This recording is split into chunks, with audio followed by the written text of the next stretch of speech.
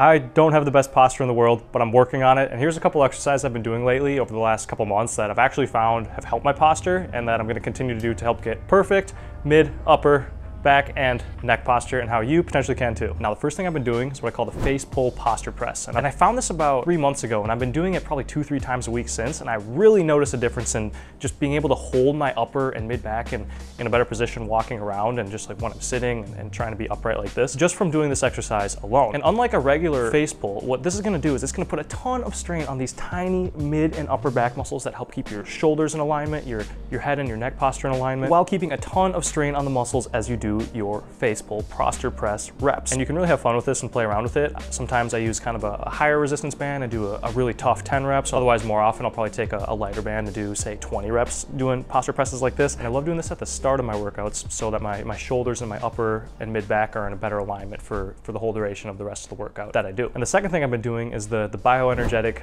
mid upper back opener and just hanging out in this position. You can, you can really do this anywhere. Like you can do this on the side of your bed or the side of your couch or um, with a foam roller on a bench, which is probably the most extreme, most, most opening version of this at the gym like, like in this video here. And what you wanna do here is you wanna get into a very arched back position. You know, the more time you spend hanging out this position, the easier it is just to, to hold good posture because it gets you comfortable being in an arch back position, which is kind of an extreme version of and more excessive than where you want your posture to actually be. But when you have that range, it's easier to just hold regular posture like this. And for like sets and reps for this, I actually like to count the breaths. So I like to do 20 deep belly breaths in this position.